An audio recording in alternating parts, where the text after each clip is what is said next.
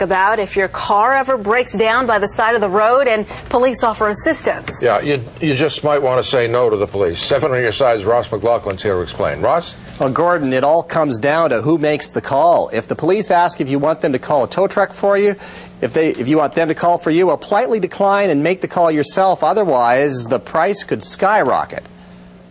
That white F550 burn up. Right back there. Yes, sir. Where it was towed because of this. Just take a look at these pictures. The truck caught fire along Route 66, and it sat in the tow yard for two weeks while Carlton Johnson disputes the bill. 3500 How much? 3500 $1,500 for the tow and $2,000 in storage fees. I called y'all because um, I couldn't work nothing out with nobody. Here's what we've learned. For a tow on this truck and trailer, if he'd called himself, he could have gotten the job done for $150 an hour. But when police make the call, it's three times as much. $450 an hour.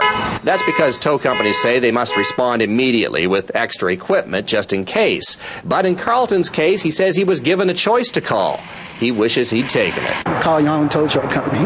Don't de- depend on the state to call because the price is outrageous. Okay, since he was confused, let's go inside and talk to the tow company to see if we can reach a compromise. We do. And they agree to knock off $1,500. He can take his truck and go home. Well, that's fair. You did a good job. There are laws on the books that allow the police to call tow trucks for abandoned vehicles and to clear the roads when the traffic is being blocked. So, when given a choice, you should make the call yourself. The prices are regulated by various municipalities and towing boards. In this case, it was Fairfax County, in Virginia. We've got more information on our blog about how to file a complaint. Go to WJLA, WJLA.com and click on 7 on your side blogs, and there you have it. Thank you.